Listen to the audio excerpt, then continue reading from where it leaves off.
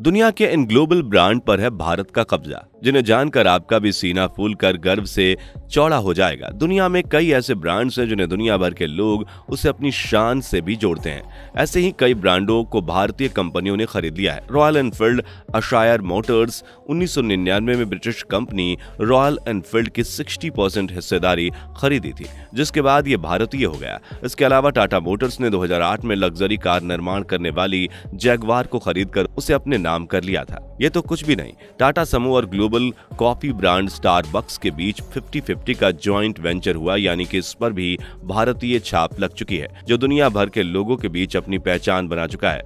ये सब ब्रांड तो हाल फ़िलहाल और ज़्यादा पुराने नहीं है, लेकिन एक ब्रांड ऐसा भी है जिसे जानने के बाद आपके होश उड़ जाएँगे। 300 साल पुराने खिलौने के ब्रांड फैमिलीज़ को 2019 में रिलायंस ने 620 करोड़ में खरीद कर अपने नाम कर लिया था। आपको शायद आज से पहले ये जानकारी नहीं पता होगी। खैर, कोई बात नहीं। हम आपके लिए ये वीडियो लाते ही इसीलिए हैं। सात दशक पुराना ब्रिटिश ब्रांड लैंड रोवर, जिसे टाटा मोटर्स ने 2008 में अपने नाम कर लिया था तो वहीं दूसरी ओर न्यूयॉर्क के लग्जरी होटल मडारियन ओरिएंटल के मालिक मुकेश अंबानी है।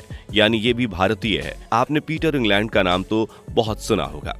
साथ ही आपके दिमाग में ये भी रहता होगा कि ये शायद इंग्लैंड का ब्रांड है, जो कि एकदम ठीक है।